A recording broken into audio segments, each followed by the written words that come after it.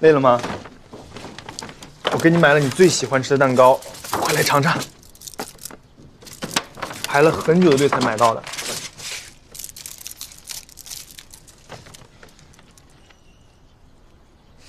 好吃吗？那我们就选这家店做伴手礼，怎么样？好啊。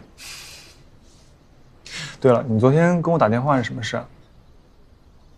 你先说嘛，你不是也有事要跟我说吗？我就在想，咱们要不要去海岛那里办婚礼？那里人少又私密，我们可以找一些亲朋好友。昨天你给我打电话的时候，我做了一个婚礼策划。看，我选了几个拍婚纱的地方，这个地方，这个小木屋你肯定喜欢，咱们在这里拍婚纱照。还有，这些婚纱都是我给你选的。但但是关心，时间真的够吗？来得及，我们下周就开始准备吧。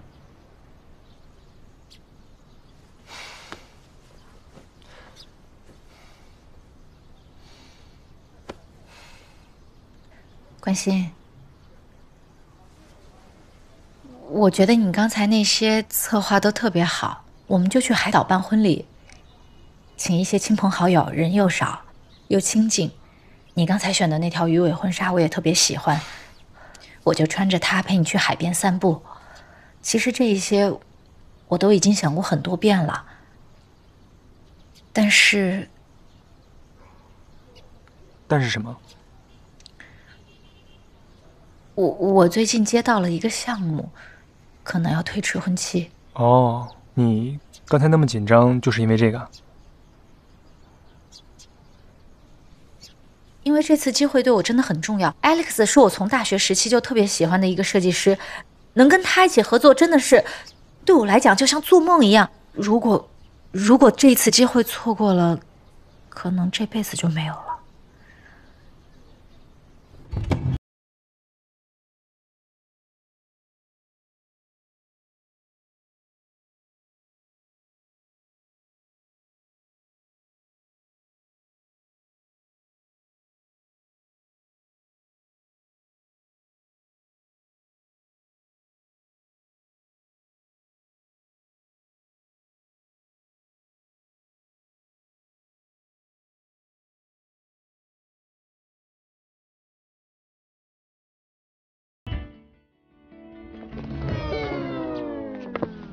于总监，你找小聪吗？呃，不是，呃，是。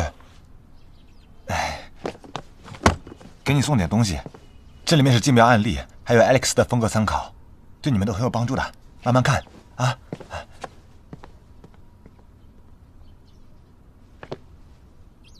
所以，下个项目你还要跟徐泽豪一起对接。